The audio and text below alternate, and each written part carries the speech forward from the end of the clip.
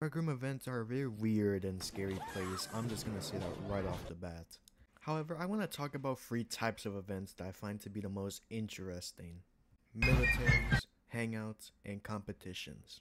First on the list are militaries. Now, like everything in Rec Room, it's a coin toss. So you may find one which is cool and fun, or find a military which is the most boring and toughest thing you have ever seen. Oh, and you better not break any rules, because if you did, you are not only getting blasted by five dudes with laser guns, but you're getting kicked too. I don't know why sometimes people take it so damn seriously like it's the real deal.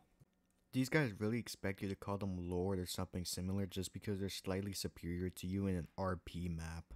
Anyway, I'm finished talking about them. Let's move on and talk about hangouts. They are just like militaries, they can be fine and chill, or just boring and make you want to go to sleep.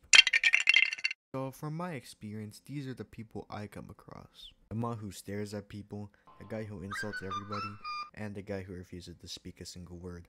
Other than that, everybody else is just fairly normal. The maps that they also take place in are also just okay. And the music in them is always some kind of like lo-fi. And I say this for all hangout maps. Now that I'm finished with hangouts, I'm heading towards competitions now. These are usually the last to fall for mod or fashion shows. Now, starting off with the mod competitions, most of the time they are pointless. Like, come on, I'm never coming back to that room after winning. I'm taking hmm. my win and leaving.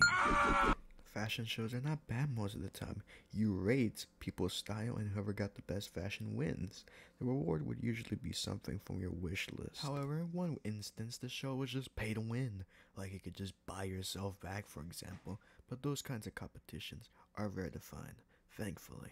For the other types of events, they're all okay and cool in their own way, you know. But I just wanted to talk about these three since they are the most common and at the same time interesting type of events. So that's the end of the video. I'm very tired and now I'm going to go to sleep. Um, you can leave now. Stop watching this video.